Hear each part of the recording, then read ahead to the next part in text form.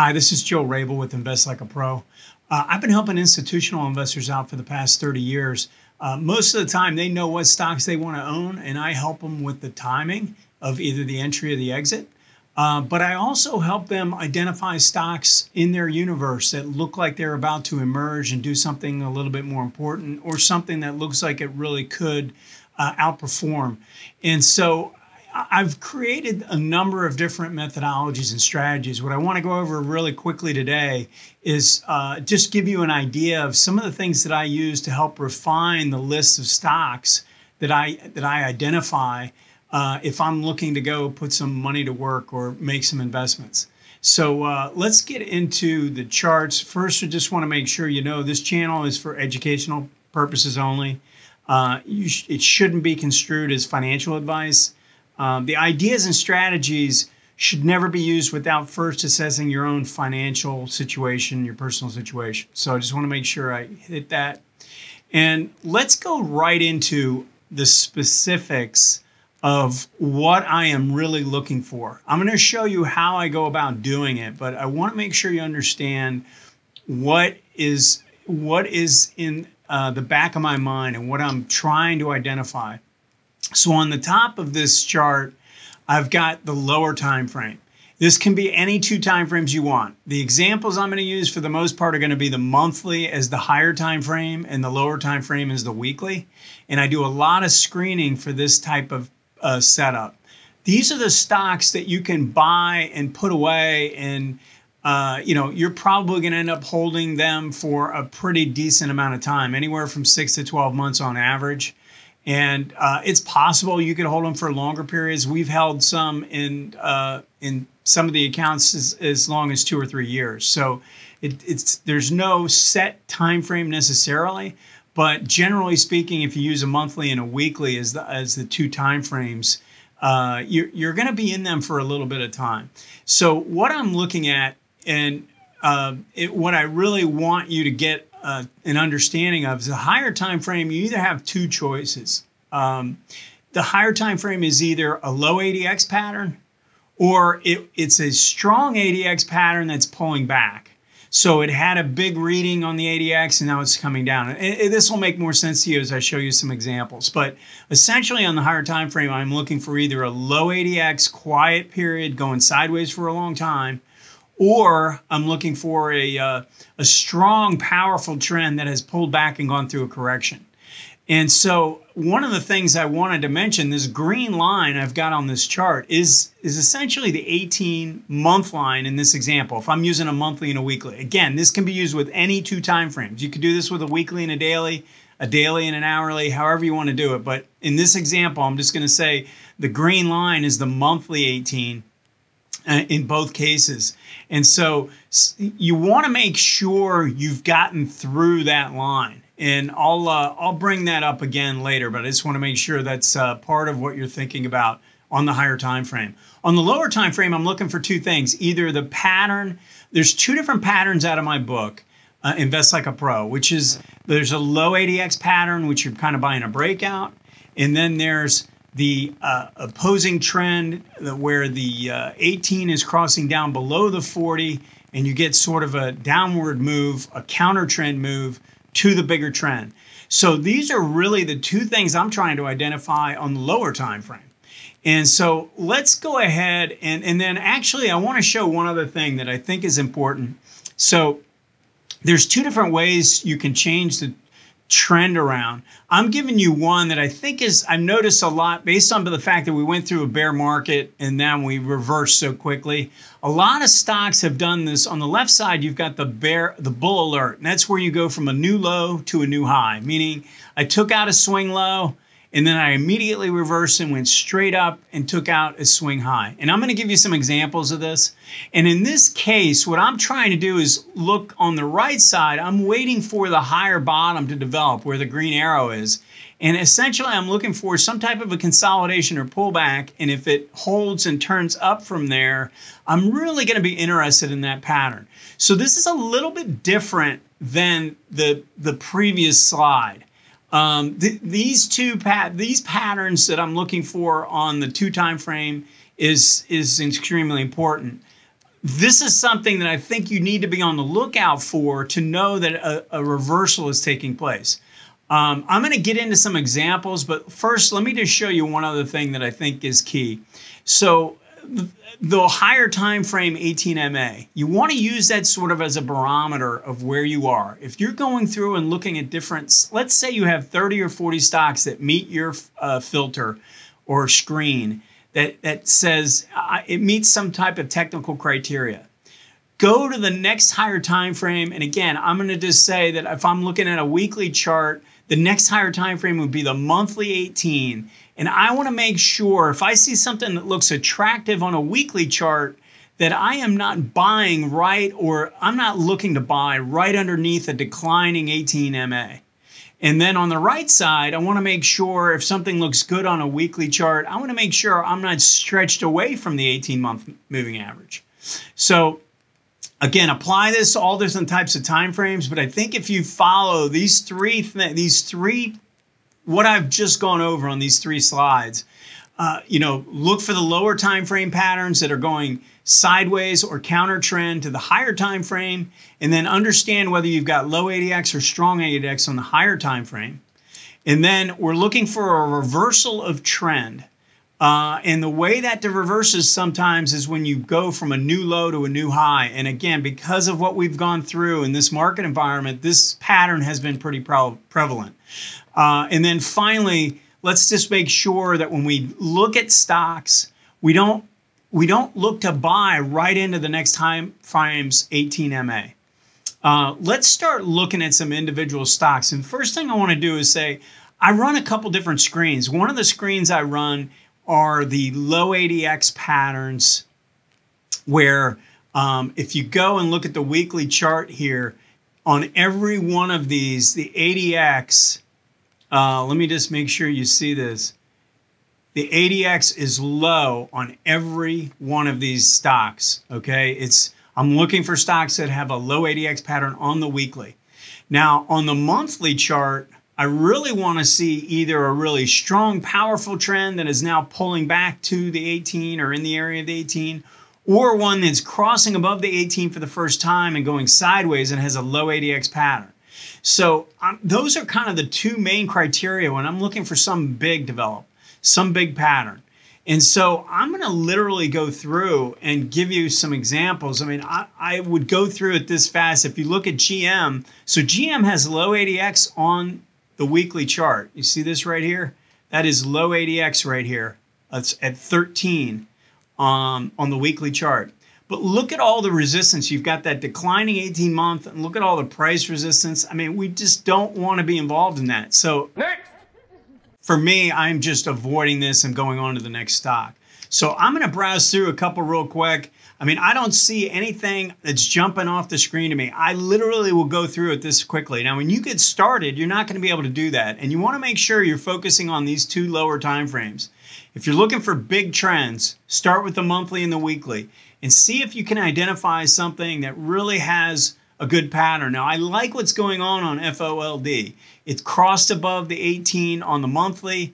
It's consolidating back towards the weekly, but it, it's still kind of stretched away from the monthly line. So I probably like to see this consolidate a little bit. And I, I don't know, I look at it sort of like it's a little bit, if you look at the right chart, that's the second no no. It's a little too far away um, on the monthly chart. It's just a little too far away from the 18 MA. So as I go through, if I see something that I really think is attractive, I'm going to throw it over into my watch list. And so I'll go through and I'm just going to give you an example of some of the ones that have met recently. So GBTC, actually, this is the Bitcoin trust that trades like a stock. It's Grayscale Bitcoin Trust, uh, and GBTC. And if you look at Bitcoin, actually, the price action has been improving, and it looks sort of interesting. Uh, but look at what's taken place on the monthly ADX. We've spent all this time consolidating for a couple years, and the ADX is just getting back to 31 uh, on the monthly time frame. And then on the weekly, we had low ADX for a long time here, and now we're finally sort of emerging out of this pattern with a pretty strong move. And then if you notice what took place just in the last week or two, uh, we had the pullback on the daily chart, and we had our opposing trend entry, um, you know, on the hourly. So, you know, this is sort of like all four time frames working together. Um, I, I again, I'm not necessarily looking at this from a standpoint of you know uh, of saying that this is a time to buy this this second, but it's a stock to watch. If it pulls back on the weekly and we get some type of a pullback closer to the 18 on the weekly chart, then we could have an opposing trend set up on the daily again. Uh, so uh, let's just start going through. Now I wanted to bring up Square because Square did this pattern this bull alert pattern, if you notice, it went from a new low to a new high. If we go back and look at what's taking place here, it went from a new low here and then went straight to a new high. Now, what didn't happen is it never made the higher low and then turned up. And you got to understand the way I look at things is you, if you look at enough stocks, you're going to have plenty of opportunity and you're going to miss some. It, it's okay. You don't have to catch every single trend if the stock's moving and it, it leaves on without you, it's it's okay. There's there's plenty of others out there. Uh, let's take a look at DKNG. This is DraftKings. Big strong move on the weekly chart, and it's been consolidating back to the 18 MA. 18 above the 40, both lines rising. And then if we go to the uh, daily chart, we've got sort of a low ADX pattern developing. And I think if this can continue to consolidate and stay low and then come up through here through this resistance line, that would actually be a pretty bullish sign. It's, it's definitely a stock to keep an eye on. Uh, DBX Dropbox was something I was watching. It never actually got going uh, above the breakout level of 24, so there was no trigger. So there's setups and then there's triggers. So I have a, my watch list are a bunch of stocks that are potentially set up. Like they have the setup that I'm looking for, but if they don't trigger, I might never get in them. And I think you have to discern. There's a much, there's a huge difference between a setup and a uh, trigger, and we're going to go more into that over time. But I want to make sure you know that uh, right off the bat. Uh, YUMC has shown low ADX on the monthly and low ADX on the weekly, and and now the daily is starting to get going. And I think the the weekly is actually going to cross and get the ADX going as well. So it's a type of stock you want to probably let it push a little higher, and then watch for the next pullback. And it'll be some form of an opposing trend trigger on the uh, daily chart. And so, one of the things that I think you need to understand and get the point across here is that you have to have patience. Every stock you are looking at is not going to be ready to go. You can't just buy it willy nilly and just say, I'm, I, am i am going to own this. You have to wait for the proper setup, uh, the proper triggers to uh, kick in. FCX is very interesting because it made such a big move. I'd love to see this go through, um, you know, a pullback like this and then turn up and make that higher low as I was talking about in the uh, one of the earlier charts. So this is the pattern from a new low to a new high. It's taking place in SCCO, which is a copper, and the copper uh, futures is doing the exact same thing. So if this can fill in a little bit and let these moving averages catch up, I think this could be very intriguing. It's one to watch. Um, eBay kind of got away. It's made a huge move, a lot of strength. It's in a power trend based on the weekly. Uh, I think if we can get a little bit more consolidation closer to the 18 week, it's probably worth uh, monitoring. Uh, CLDR is pretty interesting to me. Uh, the monthly chart is really just turning things around. The 18 month is about to flatten out and turn things around. Uh, we've shown some improvement on a weekly basis. If you look at the trend line, you broke the trend line, you rallied up, you came down and tested and held, and now we went to another new high. So I kind of consider the trend reversing on the weekly. What's missing now is we've pulled back to the 18 and the 40 on the weekly, but we have not triggered on the daily chart. So, you know, I want to see this kind of work its way back up through 12, 12 and change, something like that. And then if it were to trigger, I'd put a stop in underneath here. And the way you want to do this, if you're going to do this type of trading, you want to take the different the distance between your entry point and your stop point, figure out how much money you want to risk, and then divide that by the distance between these two lines. So you figure out how much you're risking in the stock. Let's say it's a dollar and you want to risk uh, $200 in, in a specific trade, then you'd buy 200 shares. So it's as simple as that. Make sure you do the math though. Risk 1% on your trades and you will stick around. You will be around long enough to learn how to do this and get a lot better at it. Uh, let's just look at a couple more. ABBV, um, it's got a little bit of pullback risk on the monthly, but I do like the way this is setting up on the weekly and the daily. ZS, Zscaler, has made a really big move on the weekly. I'd like to see it consolidate back towards the weekly line, but this is something to watch. It's made a really strong move and it's in a power trend on the weekly. Um, BABA is consolidating very nicely after breaking out. Uh, you know, if you notice all these stocks that I'm showing you, they're all above their 18s on the monthly and they're above their 18s on the weekly. And and so I want you to understand and just keep this in mind. I know you want to buy low and sell high, but think about maybe buying high and selling higher. You know, I mean, you don't have to buy something at a 52 week low to make money in the market. We make most of our gains are stocks that are breaking out, hitting a new 52 week high, sometimes an all time high, and it's it's it's at the highest price it's ever been and yet it continues to trend. That's the power of adx and it's something you need to get used to. If you want to start buying right you got to make sure you're looking for stocks that are showing some form of strength. So i want to make sure i make that point.